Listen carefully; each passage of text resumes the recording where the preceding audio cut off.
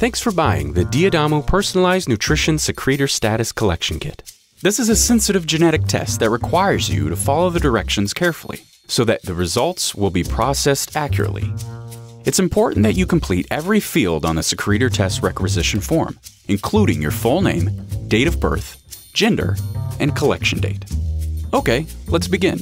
First, peel open the package labeled Sterile Cotton Tip Applicator.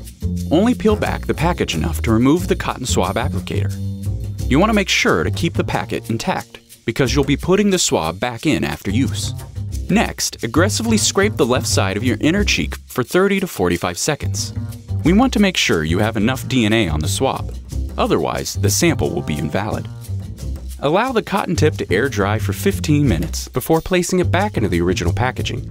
Cotton swab in first. The sample will only be valid when properly stored in its packet.